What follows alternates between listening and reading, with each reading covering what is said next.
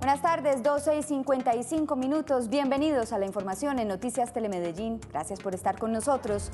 Comenzamos a esta hora, como siempre, con las tres noticias más importantes hasta el momento.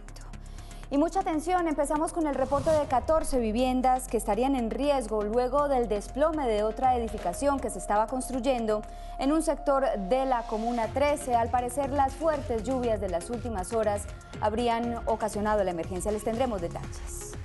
En otras noticias, un video que se conoció hoy de una cámara de seguridad revelaría nuevos detalles y se convertiría en una nueva prueba en el caso del joven atacado con ácido en el municipio de La Estrella.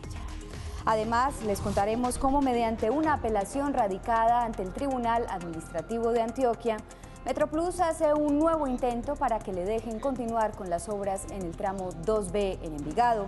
Les contaremos cuáles son los argumentos en esta oportunidad. Estas son las noticias más importantes hasta esta hora. Revisemos otros titulares del día aquí en Noticias Telemedellín. Bienvenidos.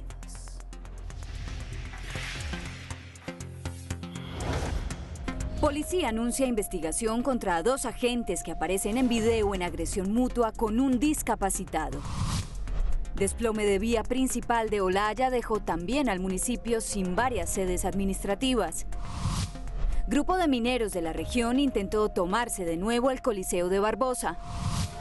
Labor de inteligencia permitió la captura de siete presuntos urabeños en el nordeste antioqueño.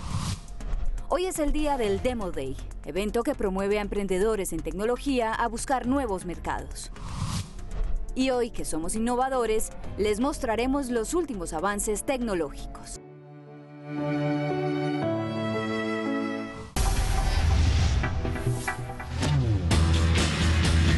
Con este gol de media distancia, Sherman Cárdenas le dio la victoria nacional sobre Mineiro en casa.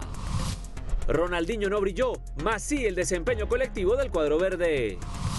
Estefan Medina estará tres meses por fuera de las canchas y se perdería un posible llamado a la selección para el Mundial.